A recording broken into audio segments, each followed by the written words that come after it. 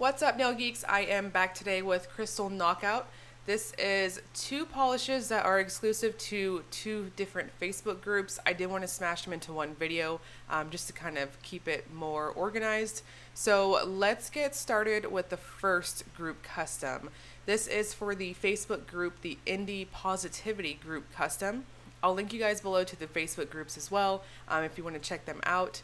But this is Glimmer Gown described as a shimmery indigo base with holographic sparkle, red to gold aurora shimmer, iridescent blue, gold, and red shimmer, and holographic micro flakes. So this one will be 11 when it launches in her shop. This one is definitely what I would consider a an indigo base. There is a touch of what I almost feel like a kind of like an eggplant navy kind of thing going on here. Um, definitely kind of in between.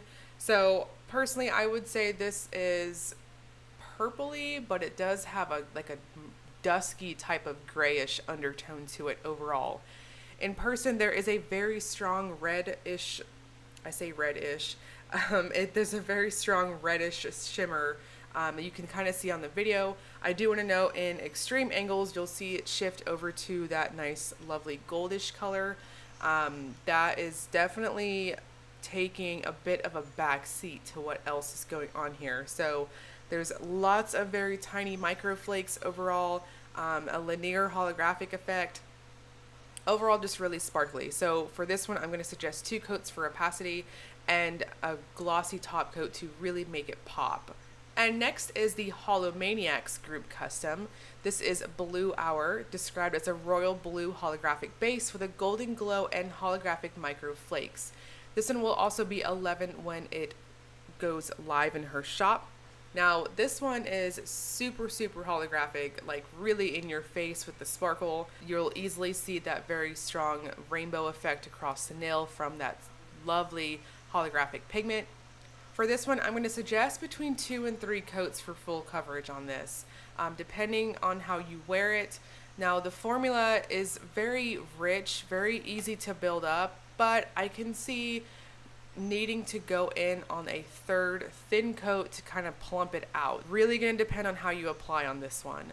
Overall, this one has a very strong metallic like shine to it. On the full hand shot here in just a moment, you guys are going to see that. There's also these lovely, very, very tiny gold flecks throughout it. I did try to catch it on my macro shots. My camera was being a bit of a pain and just latching on to the Spectraflair here.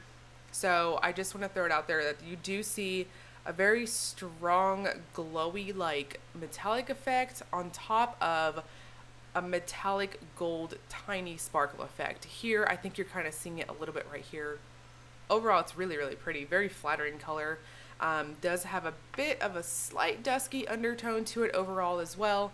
This one also dries down kind of semi-glossy, but I would still recommend a really good glossy top coat to really make those sparkles and that linear holo pop overall. So these will launch July 15th in her shop. I'll link you guys below to Crystal Knockout shop. P.S. She also makes some super cute earrings. I've been meaning to pick some up myself. Also, she has free shipping on orders right now. Yes, free shipping on orders. So definitely get in there, check out the shop. I'll link you guys below to both Facebook groups for each of these customs if you'd like to take a peek at them. As always, if you enjoyed the video, please like and subscribe. Thank you so much for watching.